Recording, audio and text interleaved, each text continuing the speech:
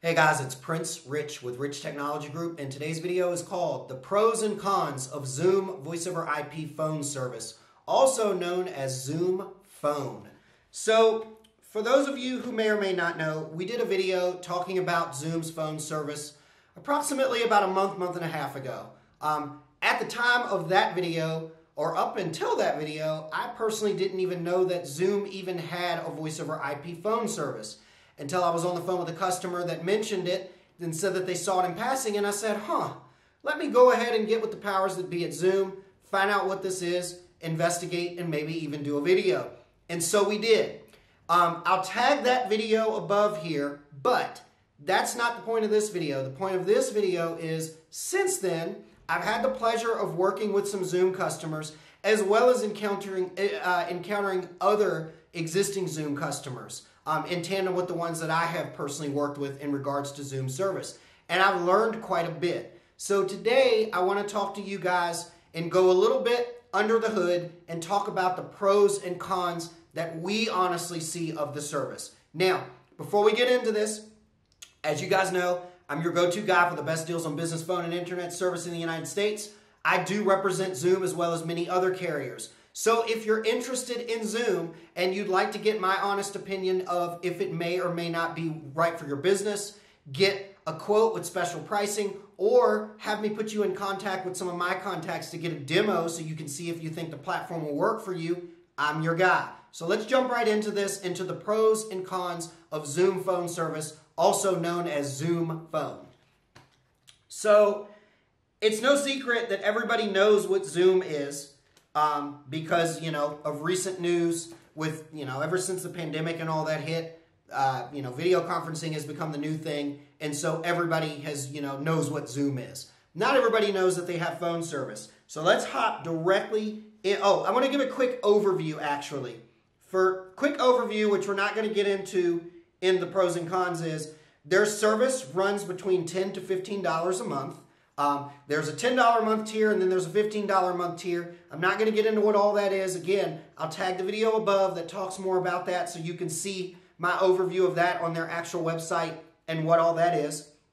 Um, they do include a mobile app, which is obviously an important thing these days with social distancing and needing the ability to work from home or work outside of the office um, and still be, you know, a collaborative team. Um, they have all your typical features that the average voiceover IP carrier has, like auto attendant, caller ID, music on hold, you know, call transfer, do not disturb, um, the ability to connect to a phone and all that kind of stuff, like an actual uh, physical IP phone, like a Cisco or a Polycom or a Yealink. They've got that. Um, so, anywho, let's jump into the pros first. As I already mentioned, one of the big pros is everybody knows what Zoom is. It's kind of become a household name like Walmart or like Vonage or something like that, thanks to the pandemic. Again, not everybody knows that they have voice over IP, but everybody knows what Zoom is, so it has become kind of sort of a trusted name or a name that everybody knows is around or that you can kind of depend on. Um, one of the biggest pros that I want to go over here is that name, with that name, because of their rising stock and because of their rising popularity, with higher demand, comes, you know, lower pricing in theory with most companies. So they do tend to have one of the most lower per extension, per user, per month prices in comparison to other carriers out there. In this case, they start off as low as $15 a month. They actually do have a $10 a month tier, but that's a metered thing and we're not going to get into that. I don't personally recommend it. And again, I mentioned, I talk a little bit more on that in the other video that we did on Zoom. But their main extension that I would recommend to people that are interested in Zoom runs for about $15 per month per user. That's actually a pretty good price, um, and that's their normal price. Whereas all of the other carriers, without their COVID 19 discounts and whatnot, or special discounts that I can get you, they typically run around about 22 to $24 per month per user extension. So you're talking almost about a $10 per month savings or more, depending on the carrier that you're looking at. So that's pro number one. Pro number two, phones are supported. Now, for those of you who are watching, you know that there's a lot of other carriers out there that I speak on in my channel too, like a CallHippo or a Grasshopper, and their main selling point is the super duper uber cheap price. The common pattern with all of those super duper uber cheap carriers that are named after safari animals and exotic insects, you know, and things like that from the jungle, they do not support phones. They are 100% mobile app only. Now, some of you watching might think, oh, mobile app only, that's great. But a lot of the rest of you that might be watching may be thinking, hey, I could benefit from a mobile app, but I like a physical phone as well. I'm old school, so I get you. I use my mobile app with my carrier uh, regularly, but I also have physical phones and I prefer physical phones. So that's just me. If you need physical phones and mobile app, Zoom has it all. So that's a pro there is that they do support phones at a very low entry level price. Whereas a lot of their competitors that come in at those super low entry level prices like that, they don't support phones. They're 100% mobile app only. Let's see here. Pro number three, mobile app included, which I already mentioned, at no extra cost. Now let's be real with everything that's going on with the pandemic and people needing to work from home and social distance any voice over IP carrier at this point that's got half a brain is going to have a mobile app included because, you know, to not have a mobile app is almost kind of like a deal breaker with just everything that's going on in current news and the economy right now and just in the mobile workforce and regarding mobile workforce enablement. So, for those of you who are wondering, Zoom does include a mobile app with every single user extension for every single respective, you know, user. Let's see here. Pro number four, you can have your voice over IP and your video conferencing or your video, you know, capability uh, under one roof. Obviously, it's Zoom. So you can have your phone service through them, your voice over IP phone service, as well as have your video conferencing all under the same roof. Some people don't care, but that's a big plus to be able to have your Zoom video conferencing and your Zoom phone service with your mobile apps and extensions and whatever you need for communications all under one roof. It's kind of nice to have it all under, you know, all on one bill, keep things simple and easy for, for accounting. Pro number five, um, and this is the final pro before we move into cons. Because Zoom is not a CLEC, like the big guys, like your Vonage and your Nextiva and your RingCentrals, and then your even bigger guys, like your Verizons and your Comcast, they are not bound by a lot of the same federal and state taxes which they have to pay, which they in turn pass off to you, which ends up on your bill, um, as the other carriers. So they boast that they have one of the lowest tax rates per extension and on their bill for their users in the industry. I've seen some of these bills and I've actually played around with the calculation of the tax rates with some of my friends in high places that work at Zoom in sales and in uh, tech support, and it is actually pretty competitive. Now, I want to be clear. I'm not saying that you should pick your phone provider based on the lower tax bracket because there are some kick ass voice over IP service providers out there that, in my opinion, are better and have more that they bring to the table than Zoom, but you're going to pay higher taxes. But if Zoom has everything that you feel it needs, you know, you'll enjoy a very low tax rate or no taxes at all in some areas where some of the other carriers charge taxes. Make no mistake, you're still going to have to pay for, I believe, 911. Um, and I'm not sure what other ones, you know, they may have their own internal surcharges and things like that, but you can't get upset about charging for 911 because that's the law. So, um, but definitely a much lower tax rate than what we normally see with other carriers, um, which for some people is a big deal, you know, when it comes to saving. Let's move into the cons of Zoom Voice over IP phone service, also known as Zoom Phone. Security. Now, this is no secret to anybody. While I personally do not have any clients with Zoom that I have worked with that have had any security issues, it's no secret to anybody that when the pandemic first started and everybody started using Zoom video and things like that, there were some major security issues. So much so where even public schools were almost banning the usage of Zoom because of some of the security dilemmas that they encountered when using the service.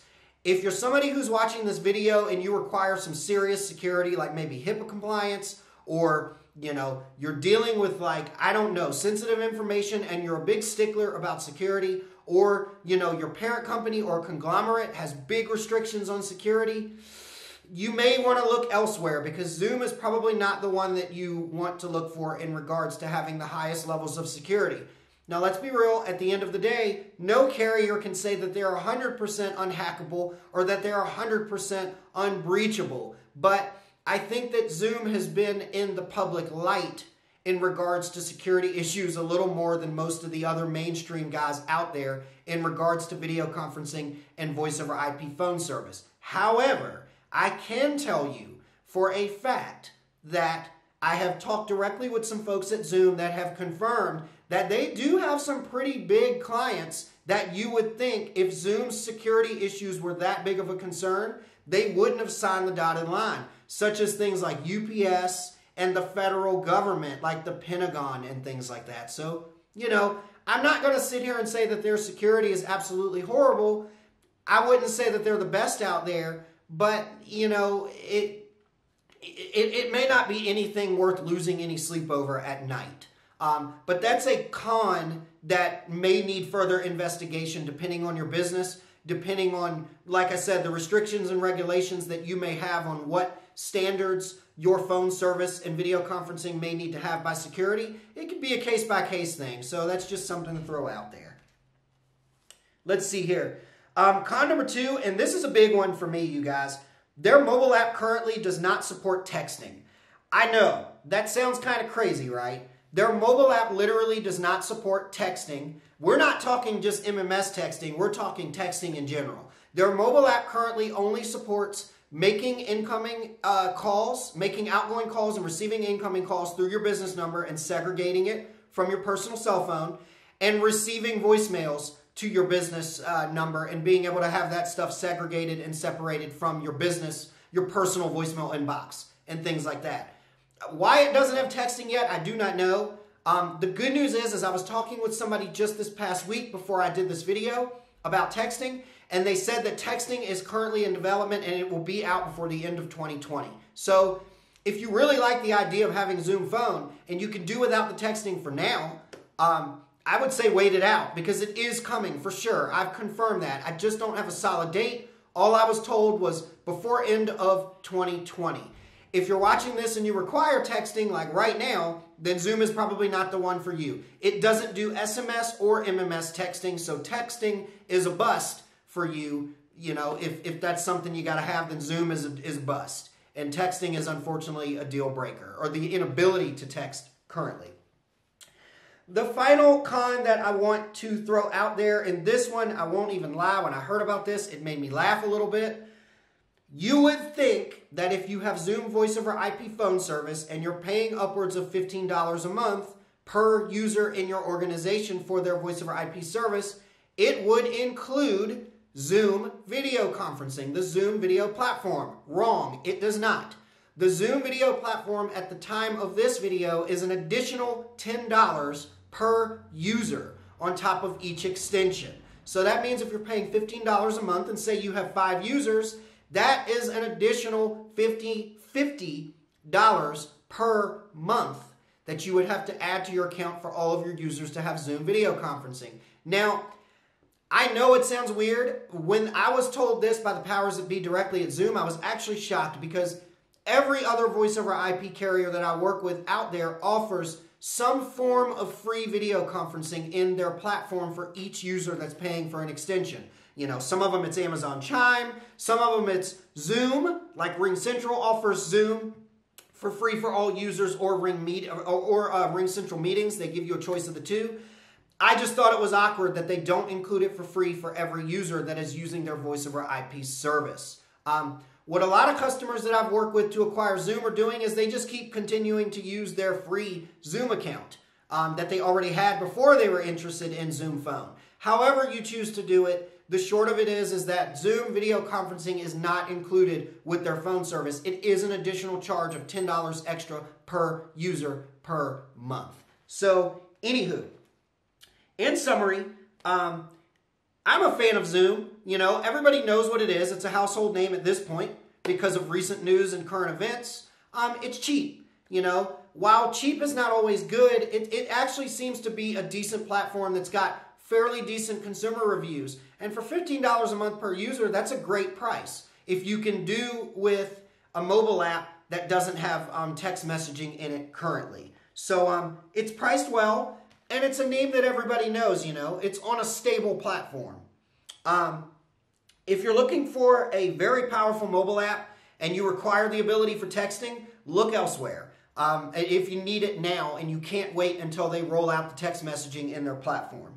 Um, HIPAA compliance and security, I would think, is kind of an issue. I don't know enough about their platform to be able to say whether it is or isn't secure. I just know what I've heard through recent news. And I could see some people that are maybe in high level areas like government, financial sectors, or require like serious HIPAA compliance, maybe saying no to Zoom because of some of the security risk or the things that they've heard in regards to its security risk in the news and whatnot, you know, regardless of whether it may be true or not, or what the whole story behind the security flaws may have been.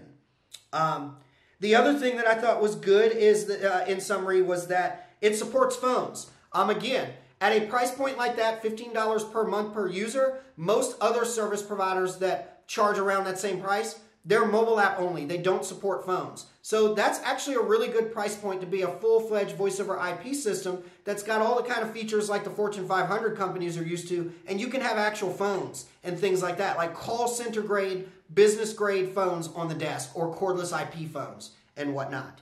So, um, anyways, that concludes the pros and cons of Zoom, uh, you know, voice over IP phone service.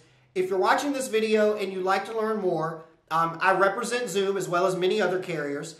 I can get you special pricing and a quote. I can also talk directly with you to find out if Zoom has the features and function that you require. And if you want to dig a little deeper, I can literally get you in touch with contacts and sales engineers that I work with at Zoom and set you up an actual live demo together with you so that we can look under the hood and see if the platform makes sense for you. So, again, Prince Rich with Rich Technology Group, your go to guy for the best deals on business phone and internet service in the United States. I'll talk to you guys again in the next video.